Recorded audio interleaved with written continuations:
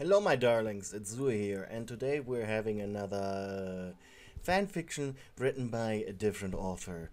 Uh, Cat Peasant is back with her Alastor story. Say hello to Cat Peasant, everybody. Now, I hope you enjoy it, and please remember I have a merch store and a Patreon. Both links are down in the description. And remember to watch the video until the end, like or dislike, and comment your favorite part down below. Now, let's get right into it. Your blanket was wrapped around your body like a cocoon. Despite the relaxing sound of the rain pouring outside your window, you forced yourself to stay awake. You just wanted the day to end already, so Alastor could get his nighttime fun over with, and you could get some much needed rest as long as you didn't have any more nightmares. There was a loud but somewhat gentle knock at your bedroom door. Come in, you said as you turned to face the door. Hello again, my dear. I'm glad you didn't fall asleep on me. Alastor said as he opened the door and stepped into the room. Not like you'd let me, you mumbled. Alastor set a bowl of tomato soup in front of you. He handed you a spoon and you dipped it into the soup and slurped the liquid down your throat. You groaned when your heart fluttered in your chest, remembering one of the many stupid reasons you loved this asshole. He was a damn good cook. You quietly ate the soup. Alastor took a seat beside you as you finished your meal. You mentally screeched in frustration. You put the bowl on your bedside table before speaking. How often does it rain in hell? Not often, Alastor replied, his voice lacing with boredom. Most likely about twice a year. Wow. We are in hell, my dear. It's not known for being cold and rainy. That sucks. It's nice. The rain, I mean. You laughed bitterly. The one thing that kept you from breaking down into tears was the stupid rain. You yawned quietly. Yeah, still sleepy, aren't we? How precious. You didn't say anything. You just wanted him to leave. You were tired. So damn tired. You'll be able to sleep soon, my dear. But for now, He teleported in front of your face, crouching down. I can do things like this. He booped you on the nose with a playful, smug grin. You glowered at him, making him smile even more. Why are you doing this now? Don't you usually do this shit at night? I'm bored. Besides, I like playing with you, so why not start early? Oh, great. With a snap of Alastor's fingers, your beloved blanket was gone. Come on, give that back! You protested. As adorable as you look, all curled up like that, I am afraid it will only make you sleepier. Alastor hummed contentedly as he stroked your cheek with the back of his hand. You desperately tried to focus on the rain. You had to focus on it. You shut your eyes tightly. His smile wavered slightly. This simply wouldn't do. That's when he had a devilish idea.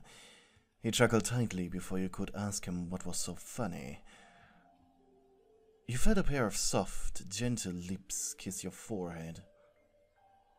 Your eyes immediately shut open, shocked expression on your face. "Uh, What? You whispered.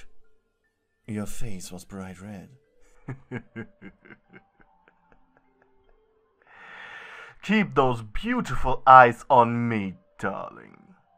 And maybe I'll do it again. Your mind was racing. Did that actually just happen? Did he really kiss you? You thought he was an asexual. Then again, Ford kisses weren't always romantic, but still. Alastor started humming again, satisfied with his work. You really were entertaining. Your eyes were focused on him just as he wanted it. You squeaked when his lips met your forehead again. He slipped his hand away and kissed both your cheeks, making you more flustered. Suddenly, Angel slammed the door open with a fury expression on his face. Al, get the fuck out! Angel growled. Alastor stood up and approached him calmly. He chortled. The radio demon clicked his tongue. And who are you making orders, Angel Cakes? The spider flinched before glaring venomously. Don't call me that, you. Alastor wrapped his hand around Angel's neck and raised him off the ground. Why shouldn't I? That's what that filthy Pen Valentino calls you. A rather fitting name, actually, considering that you will let anyone have their way with you for money. Like someone eating a delicious cake and then forgetting about it an hour later. Maybe even going out to get a better tasting cake. He snickered, amused by the way his prey struggled, and how his eyes portrayed both anger and pain. He wondered if Angel tasted like cotton candy cutting him in nice little bits while he screamed out for his life only to die due to blood loss before eating his meal. Perhaps he could dine on Fat Nuggets as his filthy slut of an owner helplessly watched. He snapped out of his fantasy when you gripped his wrist. He snarled and turned his attention to you. The static ran in your ears and intelligible whispers echoed around you. And what do you think you're doing? He hissed in a sickly sweet voice. Your voice wavered. Uh, uh, leave. Let go of Angel. Then I let go. He stared at you for ten seconds before dropping Angel to the ground. You released your grip on him. He scowled at the red marks you left on his skin. He would have to confront you later, but for now, he would take his leave. Goodbye, my dear, Alastor called as he left the room. You went over to Angel Dust. Are you okay? Yeah, I'm fine. You sure? Said I'm fine. The two of you fell silent. You looked at Angel apologetically. You didn't deserve to be treated like this. Should you have taken his place? Wait. Why was Angel here to begin with? Why are you here? Come on. It should be obvious. That freak was fucking with you. How could you have known that? Well, after you and Elle came home, Oscar told me about the weird shit he said. He did? Why? He doesn't like Alastor any more than Vaggie or I do. And I'm telling you not to sleep is strange, and then seeing him with you like that didn't help either. You looked away in embarrassment. You really wished he hadn't seen that. Yeah, things have been weird lately. How long? What? How long has this been going on? Not long. Three days. Three nights. Three nights? Wait, he does this shit at night? Fucking creep. It's fine, I can handle him. He scoffed. Yeah, I'm sure. I can help. No, I. I mean, no, thank you. But no! I don't want your help. I. I can do this on my own. Bullshit. You can help even if you wanted to. He could kill you just a split second. I could tell Charlie. No. I want to bother her. He's using you. I don't care. I. I love him. Well, you shouldn't. I know that, but. If you tell Charlie, who knows what he will do? Please, just. Just let me handle this. Considering how much he's got you've wrapped around his finger, I doubt that. He does not. He literally was touching you. And you didn't do anything about it. I. Uh, You sighed. He was right. But you had to deal with him yourself. Okay, you're right. But I need to do this myself. I appreciate your concern, but I, I, I can't have him hurting you. I, I don't know how, but I have to climb out of this rabbit hole on my own. I have to prove to him that I'm more than what he thinks I am. He let out a heavy sigh. Well, if that's what you really want, I won't get in your way, but I will keep tabs on him after this display. It's the least I can do. You gave him a small smile. Thank you, Angel. Eh, no sweat. Don't think we're all buddy buddy, though. You hear? You chuckled. All right. So, I didn't get much sleep last night, so I'm gonna take a nap. Eh, sounds like a good idea. Sleep well, Schnookums.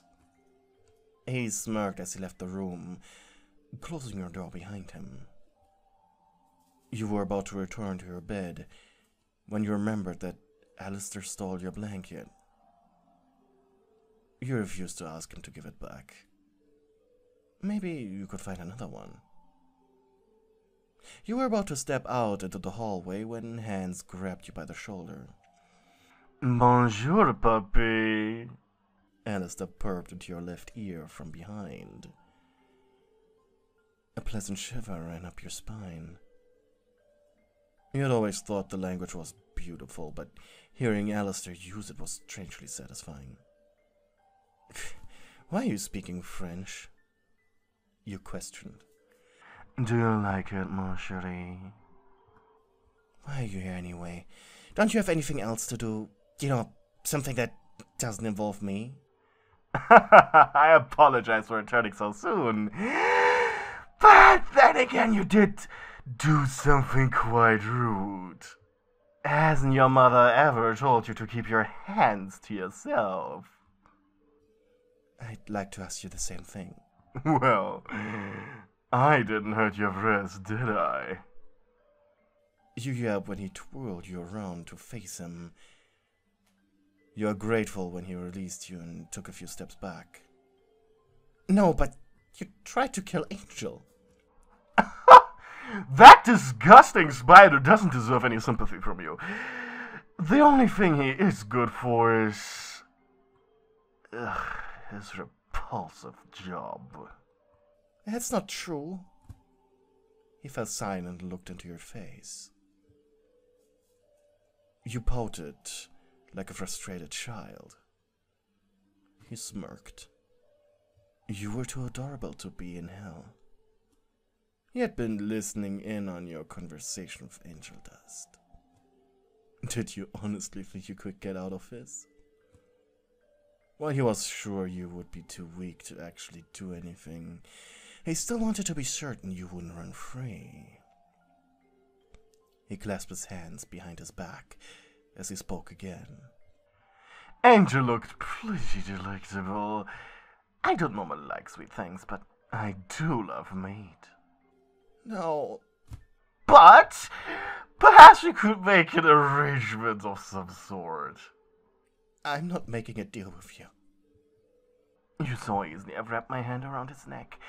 Do you really want to be responsible for the death of the Happy Hotel's first resident?